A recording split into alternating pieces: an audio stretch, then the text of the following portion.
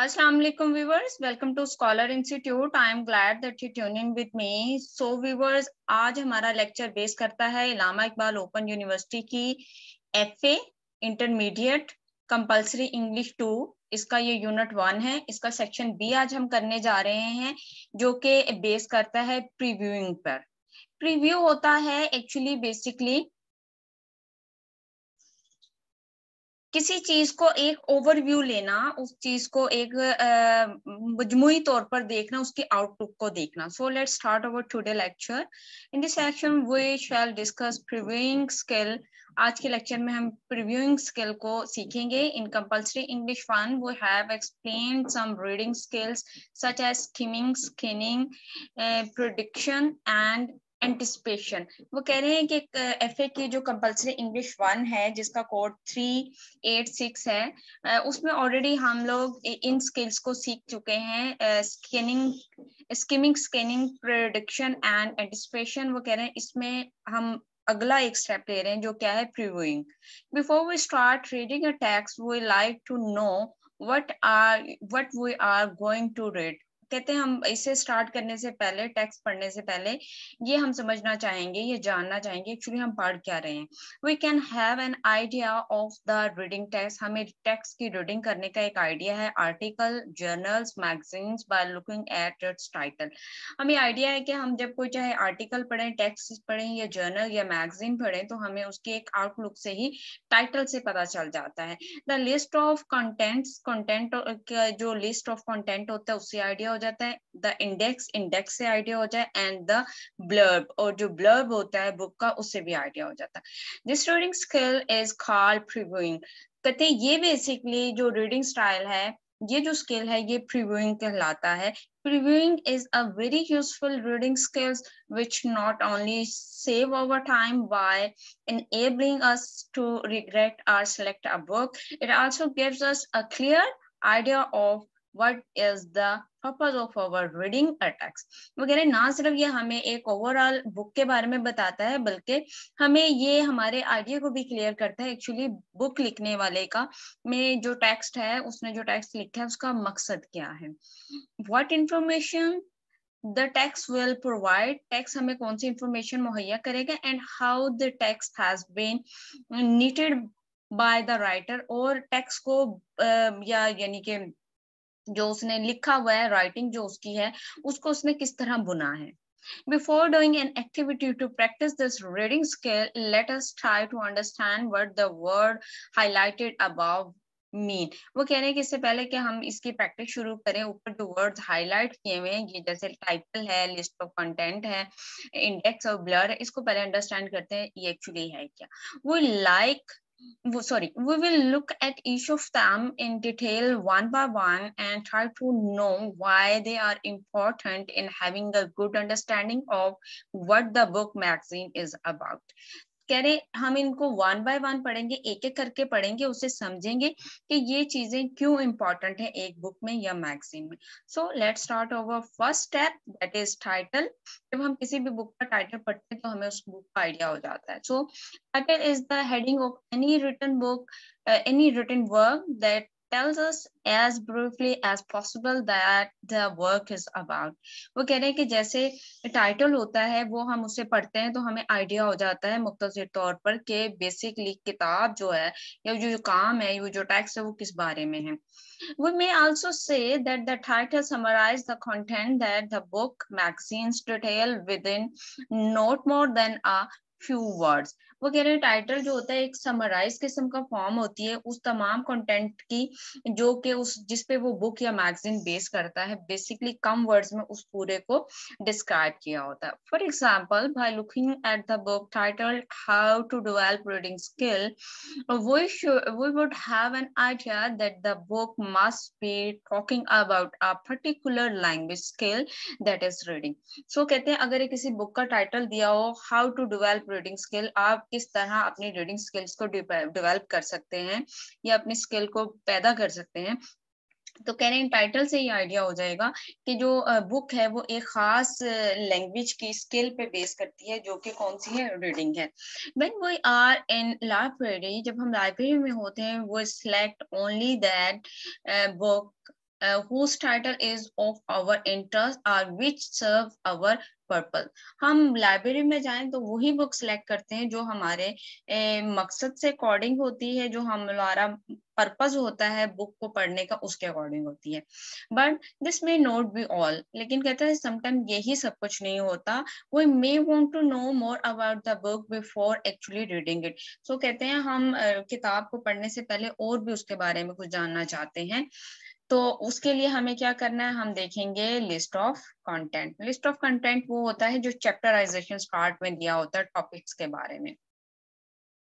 The purpose of the list of content is to give an idea to the readers about the specific topics or but or subtopic that a book deals with वो कह रहे list of content का purpose क्या होता है कि reader को एक आइडिया दिया जाए मेन टॉपिक्स और उसके सब टॉपिक्स के बारे में The list of contents may contain different subheadings such as skimming, scanning, previewing, and predictions. वो कह रहे हैं कि सब टाइटल्स में जो कंटेंट ऑफ़ लिस्ट होती है, उसमें डिफरेंट टाइप्स के सब हेडिंग्स होती हैं, जैसे कि skimming scanning previewing and prediction etcetera ठीक है जी? नेक्स्ट है जी हमारा step blurb in this step blurb of a book provides a brief summary of the contents of the book or magazines to reader to the reader वो कहते हैं blurb जो है वो reader को एक मुख्तसर किस्म की summary जो है वो provide करता है after reading the blurb blurb को read करने के बाद the reader can have a better idea of what he she may accept expect to read in the book वो कह रहे हैं कि ब्लर्ब को पढ़ने के बाद रीडर को पता चल जाता है कि वो किसके बारे में है it is difficult it is different from the topic and content list in the sense that it is neither as brief as a topic nor does it tell us about the specific topic वो कहते हैं कि ये different होता है किसी भी topic या कंटेंट लिस्ट से बिकॉज़ इससे ना तो ये पता चलता है कि कि इसके as a brief as a topic के ना सिर्फ़ पता चलता है और ना ही does it tell us about the specific topic और ना ही ये किसी मखसूस टॉपिक के बारे में बताता है। It rather give us a clear sketch और समरी ऑफ़ द स्टोरी और contents as briefly as possible in the form of a paragraph or two. एक पैराग्राफ या दो पैराग्राफ की सूरत में वो हमें बेसिकली एक स्केच या उसकी समरी प्रोवाइड करता है बेसिकली बुक में है क्या। All these items give an idea to the reader that the book is all about ये तमाम जो आइटम्स हैं स्टेप्स हैं, ये एक रीडर को हेल्प करते हैं एक्चुअली बुक है किसके बारे में। She he, she or he can have this idea by reading the above said areas of a book and magazine and can easily select or reject the book for reading. So कह रहे इन चीजों को देखने के बाद reader जो है वो easily judge कर सकता है कि उसे ये किताब पढ़नी है या इसे नहीं पढ़ना है. Now move to A10.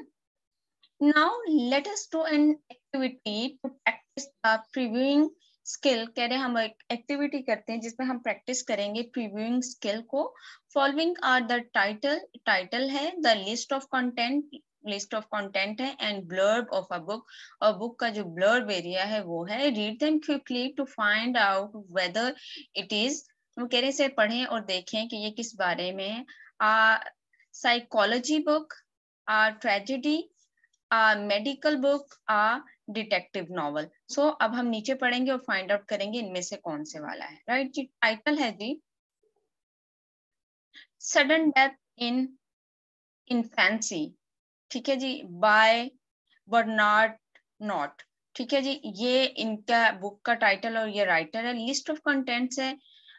Foreword by the contents of limerick authors preface Acknowledgements, what is it? The typical tragedy, what case it? After the tragedy, coping with the death. Blurb each year around 1,000 infants between the age of one month and one year encounter sudden death.